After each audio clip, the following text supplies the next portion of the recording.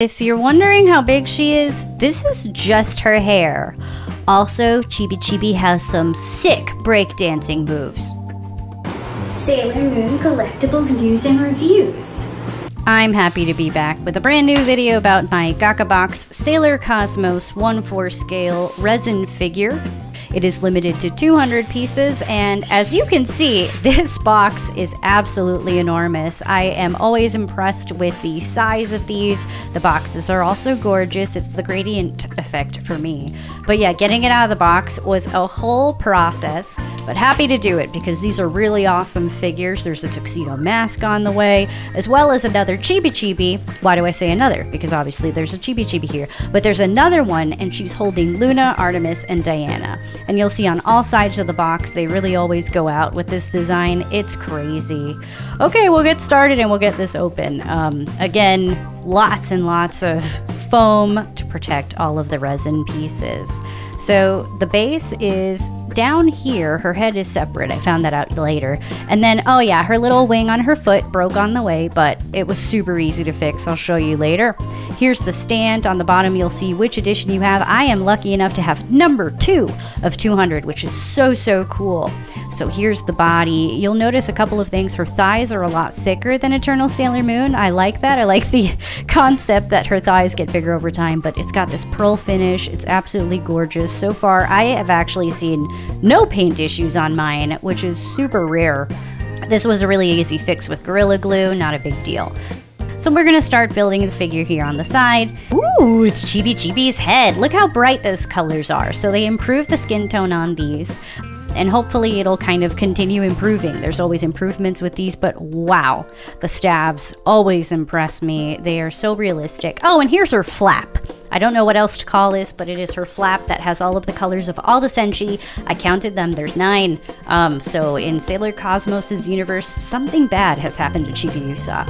Here's her hair, again, very detailed, lots of pearl, and it's got this beautiful purple sheen. Lots of fan art has purple, and oh, there's me for scale. She is a monster. Ooh, and it matches her cape. So her hair has a purple sheen, and her cape has this beautiful pearlized um, finish. It's insane. I always say that I love Sailor Moon with a cape. I feel like Sailor Moon was originally. Oh, okay, lots of cuts here. Um, that's her head, as you could tell. She's got translucent bangs that are like a sandy blonde, and it moves into this beautiful pearly blonde.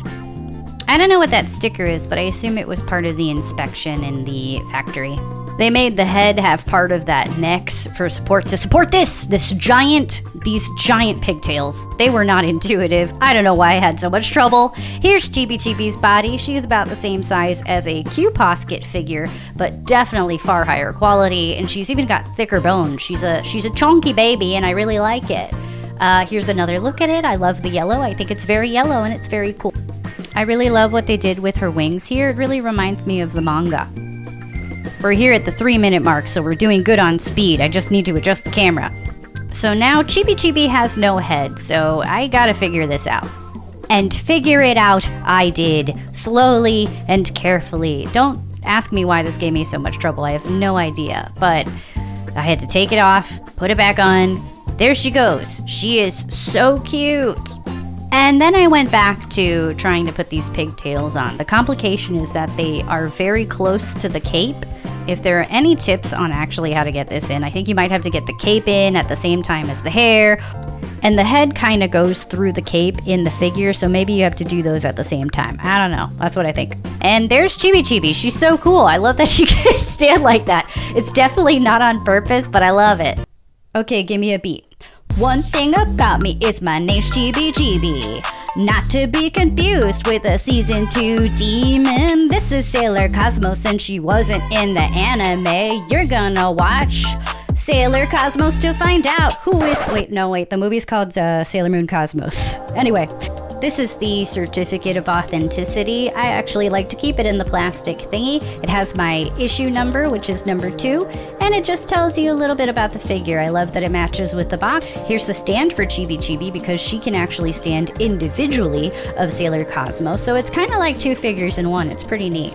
So let's uh, let's uh, smack her in there. This one's not too hard. Uh, I don't know why I make it look so hard. And oh, you have roses too to cover up the holes on either this stand or the other stand when you're not displaying it with Chibi Chibi. I think that's really awesome that it comes with it. Here are some final accessories. This is her brooch for her skirt, her little hair tendrils, and the end of her staff. Oh my gosh. I, okay, I've had this for about a week before I started editing, and she is so impressive, so incredible. It's the colors for me. All right, I gotta put that shoe thing back on. This is super cute and detailed. I always like to use Gorilla Glue. I don't know why. I guess because it's orange. And now she is absolutely complete. I've had this figure for about a week and I think it is so cool. I'm not going to tell you anything about Sailor Cosmos or Chibi Chibi here in this video. This is spoiler free. Be sure to watch Sailor Moon Cosmos. Get back to me. Read the manga. I don't know. You'll figure out why I love this character so much through either of those means. Again, she is not in the classic anime, which is very interesting. Ooh, we're going to spin it around. Yeah, dude, it's the cape for me. It's also that bright pink for Chibi Chibi. They, you know, the colors here are super bright. It's very impressive. I think that Tuxedo Mask is to be insane. Okay, enough spinning. Here's a preview of the new Sailor Moon collection room. Everything's in boxes except these giant ladies. Let's compare them.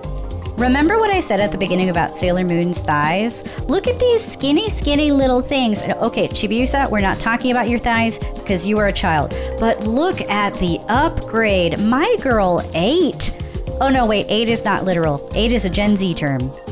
This is what the Gakabox figures look like from the back. They all have very impressive silhouettes. If I've used the word impressive far too many times in this video, it is because I am legitimately very happy with these figures. Do they have a lot of um, potential shipping issues? Yeah, these parts are fragile. It's a little freaky. You'll see even my Eternal Sailor Moon there, I have her bow taped on. but that's resin figures. These are, are not official. They're made by artists. You know, this is something very special and very cool that not everybody can have. So please enjoy my videos because I am. Oh, what what are we? What is that? Is that a body? Eternal Sailor Moon and Chibiusa were very quick to dip. Alright, so here's our girl Sailor Cosmos. I have waited for a figure of this character for, oof, my gosh, since I found out that she existed. She has a very cool appearance in the comic, and I think that you will very much enjoy learning about her in Sailor Moon Cosmos. Chibi Chibi too, you know, she's a good little baby. She could do no wrong. She is nothing like Chibiusa, just an absolute sweetheart. And again, the little angel wings really do it for me. You get a bit more of that different hair color uh, from this angle, especially with the light. I don't know how they did that effect with her hair, but it is insane. And then her staff with the little clear thing. No, no, no. This is just an absolute premium figure. Uh, this ran about $600, and you know what? It is totally worth it. That's how I feel about all of these. I like this far better than the Tsume. Unfortunately, I had a negative experience with the Tsume, and it's just so teeny tiny. I've got another video on this channel comparing the Tsume art figure to a couple of these and other resin figures so you can see kind of that size difference that I'm talking about.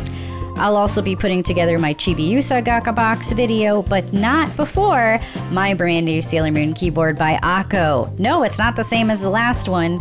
Keep on watching to find out why. On a completely separate note, I love that Sailor Cosmos has a whole bunch of rings. That is just so much cooler than gloves. And if she had nail polish, you could see it, unlike all of the Sailor Senshi throughout the entire show. Oh, no leotard. Uh, no leotard. That is, that is all. And if you think this is one of the coolest things you'll see, um, I've got news for you. They actually just announced the Eternal Sailor Moon brooch proplica. Uh, yeah, you thought it was going to look like this, and instead it looks like this, and we have to talk about it. We definitely, definitely have to talk about it. But this 1 4 scale Sailor Cosmos is gorgeous from top to bottom and bottom to top.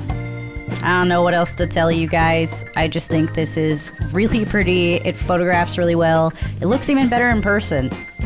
And I'll leave you with that. I'm Sailor Tortilla. Follow me on all of the things. I apparently stream now. Uh, well, just follow me. That'd be cool.